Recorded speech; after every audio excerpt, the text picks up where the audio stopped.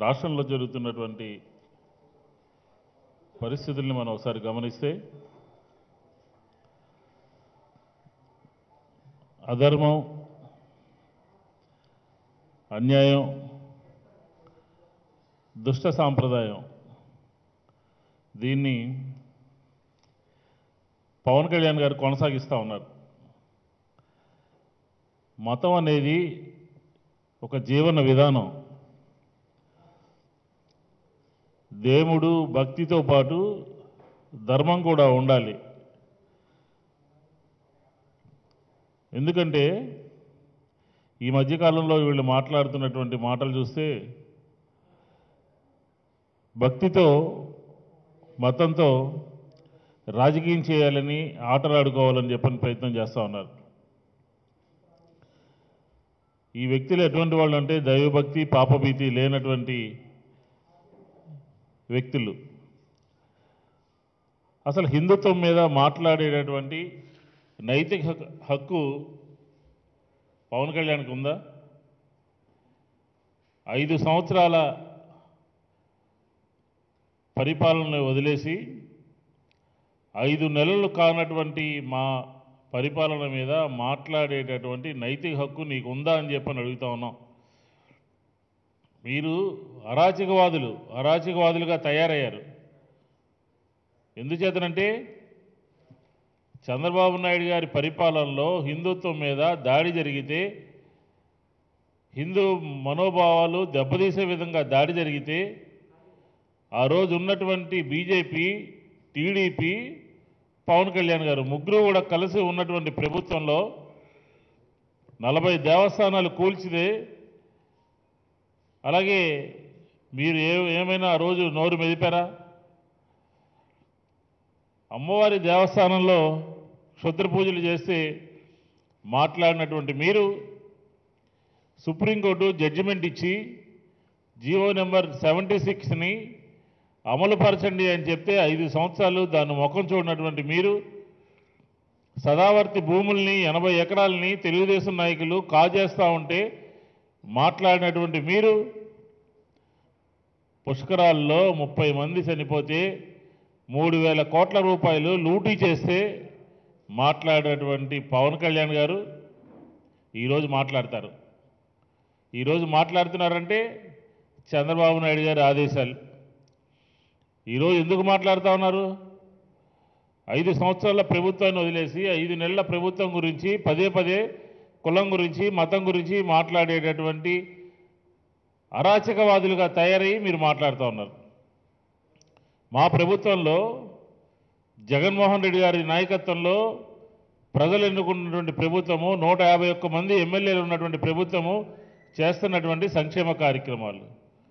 రైతు భరోసా కానివ్వండి నాడు నేడు అనే కార్యక్రమం ద్వారా హాస్పిటల్స్ కానీ హై స్కూల్స్ కానీ వీరి యొక్క స్థితిగతుల్ని ఏ విధంగా మార్చాలి అని చెప్పిన ఒక ప్రణాళికను రూపొందించుకుని వాటి రూపురేఖల్ని మార్చాలి అని చెప్పిన ప్రయత్నం చేస్తున్నటువంటి తరుణంలో ఆటో కార్మికులకి ఏ ప్రభుత్వము ఇంతవరకు పట్టించుకోనటువంటి పరిస్థితి మత్స్యకారుల పరిస్థితి ద- ధరలని స్థిరీకరిస్తూ మూడు వేల కోట్ల రూపాయలు మార్కెట్ ఇంటర్వెన్షన్కి సంబంధించినటువంటి స్కీముని తీసుకొచ్చి ఎస్సీ బీసీ మైనార్టీల వర్గాలకు సంబంధించినటువంటి కార్యక్రమాలు వాళ్ళకి నామినేషన్ పద్ధతిలో పదవుల్లో ఏ ఒక్క దానిలో కూడా ప్రభుత్వము వెనకడుగు పడకుండా ఏదైతే వైఎస్ జగన్మోహన్ రెడ్డి గారు తన ఎన్నికల మేనిఫెస్టోలో చెప్పినటువంటి ప్రజా కర్షణ అయినటువంటి కార్యక్రమాలని తీసుకుంటా ముందుకు పోతూ ఉంటే ఏ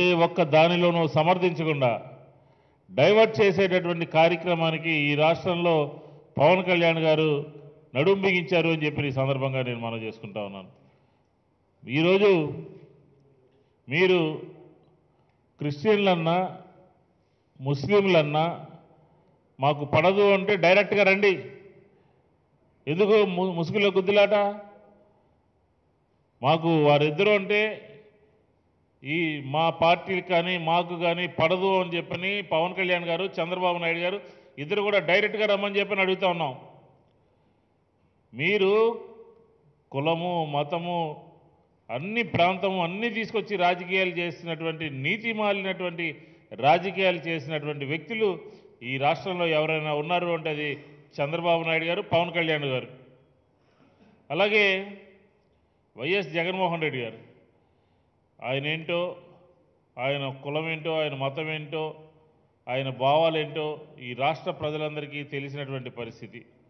అందరినీ అన్ని కులాల వారిని అన్ని మతాల వారిని గౌరవించేటటువంటి వ్యక్తి ఎవరంటే ఈ రాష్ట్ర అధినేత ముఖ్యమంత్రి వైఎస్ జగన్మోహన్ రెడ్డి గారు అని చెప్పని ఈ సందర్భంగా నేను మనవి చేసుకుంటా ఉన్నాను. కృష్ణా పుష్కరాలు వచ్చినప్పుడు గోదావరి పుష్కరాలు వచ్చినప్పుడు గంగా నదిలో స్నానం చేసి సాంప్రదాయాల్ని హిందువుల మనోభావాల్ని అందరినీ గౌరవిస్తున్నటువంటి వ్యక్తి వైఎస్ జగన్మోహన్ రెడ్డి గారు. ఏ అర్హత ఉందని చెప్పని మీరు ఈరోజు వైఎస్ జగన్మోహన్ రెడ్డి గారిని ప్రభుత్వాన్ని విమర్శించేటటువంటి దీని కింద తయారయ్యారు. ఈరోజు కొత్తగా మేమేదో ఒక చట్టం తీసుకురాలేదు. గతంలో ఉన్నటువంటి వ్యవహారాలనే ఈరోజు మేము కొనసాగిస్తూ ఉన్నాం. మీరు ఎండోమెంట్ శాఖ నేను వచ్చేటప్పుడు మంత్రి గారితో కూడా మాట్లాడాను. కొత్తగా ఏదో ఈరోజు ఈరోజు తీసుకొచ్చినట్టు దాని మీద హిందూ దేవాలయాల నుంచి మనం చేస్తున్నట్టు మీకు ఐదు సంవత్సరాలు గుర్తు రాలేదు. ఈరోజు గుర్తొచ్చింది. ఈరోజు మీరు దాని గురించి మాట్లాడుతూ ఉన్నారు. ప్రభుత్వ ఆదాయంలో దేవాలయాల నుంచి తీసుకున్నటువంటి దానికన్నా ప్రభుత్వమే ముందడుగు వేసి ఇంకా నిధుల్ని ఎక్కువ ఖర్చు పెడుతోందని చెప్పని ఈ సందర్భంగా నేను మనవి చేస్తా ఉన్నాను. పిచ్చివాడిలాగా ఉన్మాదిలాగా అరాచక అరాచకవాదిలాగా మీరు ప్రవర్తిస్తే కుదరదు. ఆంధ్ర రాష్ట్ర ప్రజలు విజ్ఞులైనటువంటి ఆంధ్ర రాష్ట్ర ప్రజలు ఇచ్చినటువంటి తీర్పు ఐదు నెలల కాలం కాలేదు. నేను స- ఒకటే సవాల్ చేస్తా ఉన్నాను పవన్ కళ్యాణ్ గారికి. మీకు చిత్తశుద్ధి ఉంటే దమ్ముంటే మీరు చేసినటువంటి ట్వీట్ల మీద చర్చకు రమ్మని చెప్పి నేను సవాల్ చేస్తూ ఉన్నాను. ఇలాంటి ఎండోమెంట్స్ డిపార్ట్మెంట్ని అడ్డం పెట్టుకుని హిందూ మతాన్ని అడ్డం పెట్టుకుని ఈ రాష్ట్రంలో చీలికలు చేయాలని సమాజాన్ని విడగొట్టాలని చెప్పని ప్రయత్నం చేస్తూ ఉన్నారు. ఈరోజు నేను ఒకటే చెప్తా ఉన్నాను. మీరు మీకు తెలియకపోతే మీ పార్ట్నర్ని మీ దత్తత తండ్రి చంద్రబాబు నాయుడు గారిని అడగండి.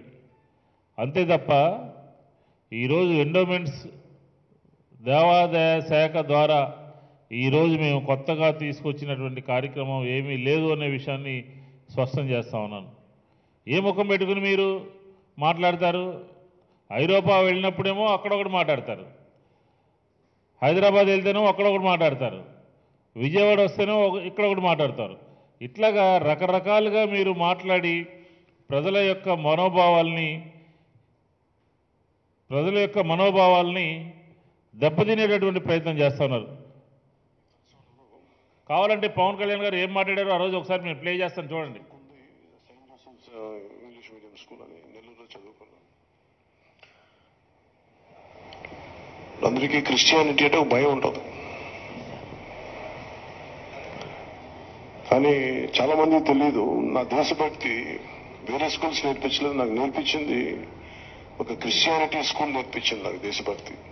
నా స్నేహితుడు కూడా పాస్టర్ నాతో పాటు చదువుకున్న స్నేహితుడు కూడా తను పాస్టర్ ఉండేవాడు. నేను ఇంటర్మీడియట్ చదువుకున్నప్పుడు వాడు పాస్టర్ అయిపోయాడు. చాలా తెలుసు దేవుని పిలుపు వచ్చినప్పుడు మనుషులు ఎలా అయిపోతారో తెలుసు నాకు. సో తను కూడా నన్ను ఒకరోజు దాని మన ప్రేయర్. కాదండి దాన్ని ఇంగ్లీష్లో ఏమంటుందండి నన్ను బ్యాప్టైజ్ చేశాడు నా మంచి క్లోజ్ ఫ్రెండ్ నాకు. నేను చాలా మందికి తెలియదు ఏంటంటే నేను ఇజ్రాయెల్ వెళ్ళాను ఇజ్రాయెల్ వెళ్తే నాకు బెత్లహేమ్ వెళ్ళాను. జీసస్ మనం పుట్టిన ప్రాంతానికి వెళ్ళాను. ఆయన పుట్టిన చూపించారు నాకు ఇక్కడ పుట్టారని చెప్పి ఆయన మొత్తం ఇవన్నీ ఉన్నాయి జెరూసలేంలో ఇది చాలా గొప్ప మతం ఇది. అది విపరీతమైన అంటే నాకు ఒకసారి అనిపిస్తుంది ఎక్కడెక్కడో విదేశాల నుంచి వచ్చి ఇక్కడ స్థానికంగా కొంత మనం ఇంతమంది రాగలుగుతానంటే సేవా తత్పరత ఉంది. సేవా దృక్పథం ఉంది ఈ మతం మా క్రిస్టియన్ మతము. దీనిని సంపూర్ణంగా అర్థం చేసుకొని ఆ సేవా తత్పరత లేకపోతే భగవంతుడి పిలుపు లేకపోతే ఇంతమంది మనస్ఫూర్తిగా తీసుకున్నారు దీన్ని. అందుకని మీకు ఎలాంటి అడ్డంకులున్నా ఎలాంటి ఇబ్బందులున్నా ఖచ్చితంగా మీకు అండగా నిలబడేవాడిని. ఎందుకంటే నా ఇంట్లో కూడా నా బిడ్డలు మతం మన మీకు తెలుసు వాళ్ళు ఆర్థడాక్స్ క్రిస్టియన్స్ ఇద్దరు. దీనికి ఇది ఆయన అసలు రంగు. కాబట్టి ఒక పిచ్చివాళ్ళలాగా ఉన్మాదిలాగా అరాచకవాదిలాగా పవన్ కళ్యాణ్ గారు ప్రవర్తిస్తూ ఉన్నారు. ఈ రాష్ట్రంలో సమాజాన్ని చీల్చాలనేటువంటి ప్రయత్నం చేస్తూ ఉన్నారు. నీకు రెండు చోట్ల ప్రజలు బుద్ధి చెబితే కూడా ఇంకా మీకు జ్ఞానోదయం కలగలేదు అని అంటే మీరు అజ్ఞానులు అని చెప్పి మాట్లాడుకోవాలి. అజ్ఞానంతో ఉన్న వాళ్ళకి ఏం చెప్పినా కూడా అర్థమయ్యేటటువంటి పరిస్థితి ఉండదు. నేను ఒకటే అడుగుతా ఉన్నాను. మీరు చంద్రబాబు నాయుడు గారి చేతిలో ఇన్స్ట్రుమెంట్గా మారి డైవర్ట్ చేసేటటువంటి కార్యక్రమానికి మీరు కేంద్ర బిందువుగా ఉన్నారు. మేము మా ప్రభుత్వము వైఎస్ జగన్మోహన్ రెడ్డి గారి నాయకత్వంలో చేస్తున్నటువంటి సంక్షేమ కార్యక్రమాలు అమలు జరుగుతున్నటువంటి తీరు అవినీతి లేనటువంటి పరిస్థితిని దాన్ని డైవర్ట్ చేయడం కోసం సమాజంలో కులాలు మతాలు వర్గాలుగా విడగొట్టేసి మీరు ఏదో లబ్ధి పొందాలని చెప్పనే ప్రయత్నం చేస్తూ ఉన్నారు. ఇది పవన్ కళ్యాణ్ గారు ఇప్పటికైనా సరే గ్రహించాల్సినటువంటి అవసరం ఉన్నది అని చెప్పినాను ఏం మాట్లాడారండి? ఈరోజు ఐరోపా వెళ్ళినప్పుడు మీరే మీ మీ పిల్లాడి దీని సందర్భంగా ఏం మాట్లాడారు? ఈ రాష్ట్రంలో చీలికలు తీసుకురావడానికి ప్రయత్నం చేస్తూ ఉన్నారు. ఈ రాష్ట్రంలో అందరి మనోభావాలు దెబ్బతీసే విధంగా మీరు ప్రయత్నం చేస్తూ ఉన్నారు. కాబట్టి నేను ఒకటే చెప్తా ఉన్నాను. అజ్ఞానం ఉన్నటువంటి వాళ్ళకి జ్ఞానం లేనటువంటి వాళ్ళకి ఇంకా ప్రజలు బుద్ధి చెప్పినప్పటికీ కూడా ఇంకా వాళ్ళకి జ్ఞానోదయం కలగలేదు అని అంటే వాళ్ళు ఎప్పటికైనా సరే ప్రజల నుంచి తిరస్కరించి ప్రజలకి దూరం అయ్యేటటువంటి పరిస్థితి ఉంది. పవన్ కళ్యాణ్ గారు మీకు ఒకటే చెప్తా ఉన్నాం. వైఎస్ఆర్ కాంగ్రెస్ పార్టీ తరఫున మీరు చేసినటువంటి ట్వీట్కి మీరు చేసినటువంటి కార్యక్రమానికి మేము చర్చకు ఎప్పుడైనా సరే రెడీగా ఉన్నాము. మీరు రండి. ఎక్కడికి రమ్మంటే అక్కడికి వస్తాం.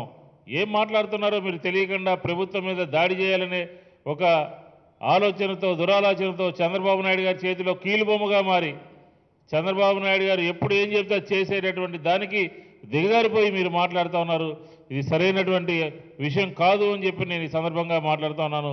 ఐదు సంవత్సరాలు మీరు కామ్గా ఉండి ఏ ఐదు సంవత్సరాలు మీరు ఎందుకు మాట్లాడలేదు? అవినీతి హిందూ ధర్మం మీద దాడి అనేక రకాలుగా కార్యక్రమాలు ఆ రోజుల్లో జరిగితే మీరే కదా ఆ రోజు భాగస్వాములుగా ఉన్నటువంటి వ్యక్తులు? ఈరోజు మాట్లాడతారా? ఐదు నెలల కాలం కాలేదు మా దగ్గర మా గురించి మాట్లాడతారా? ఇది సరైనటువంటి విధానం కాదు అని చెప్పిన వైఎస్ఆర్ కాంగ్రెస్ పార్టీ చెబుతాం.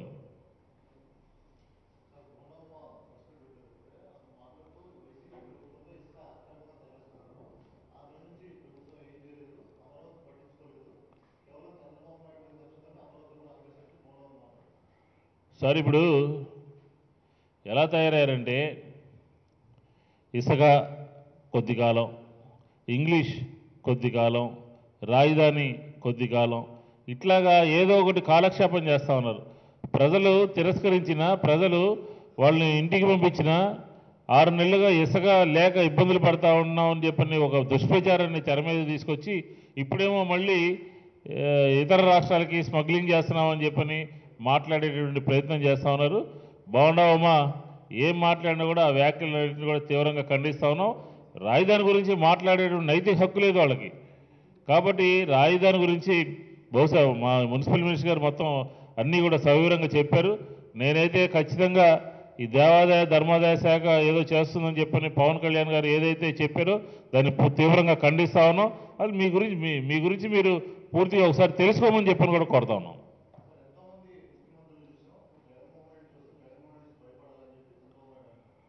అంటే ఇప్పుడు చూశారు కదా వంద మంది చంద్రబాబులు ఒకటైనా కూడా జగన్మోహన్ రెడ్డి గారిని ఏమీ చేయలేదు.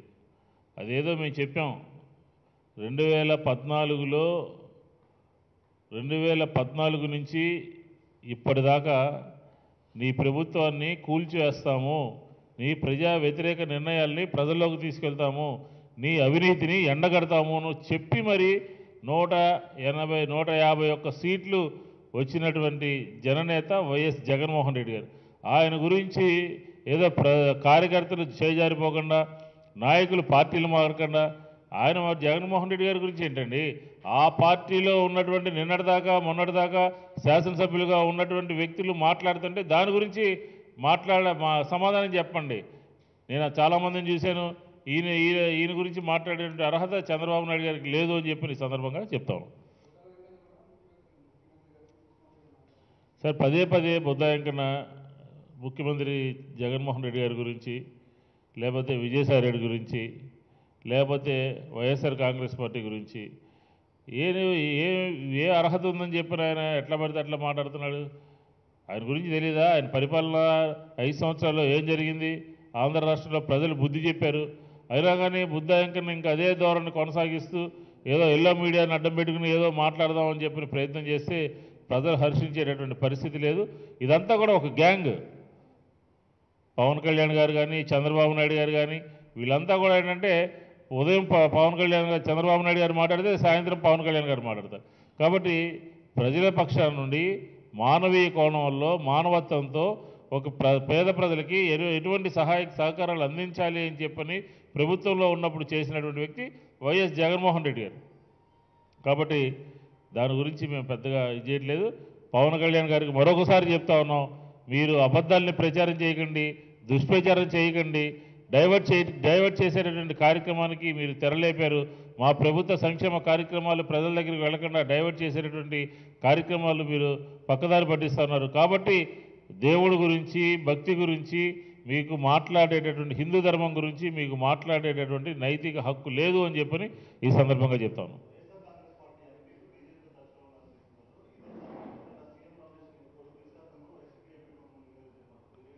అవన్నీ అబద్ధాలండి ఉన్న దుష్ప్రచారం. మాకేముంది వైఎస్ఆర్ కాంగ్రెస్ పార్టీకి వాళ్ళతో వీళ్ళతో టచ్లో ఉండాల్సింది. ఒక పెద్ద ప్రభుత్వము ఆంధ్ర రాష్ట్రంలో ప్రజలు అనుకున్నటువంటి ప్రభుత్వం ఉంది.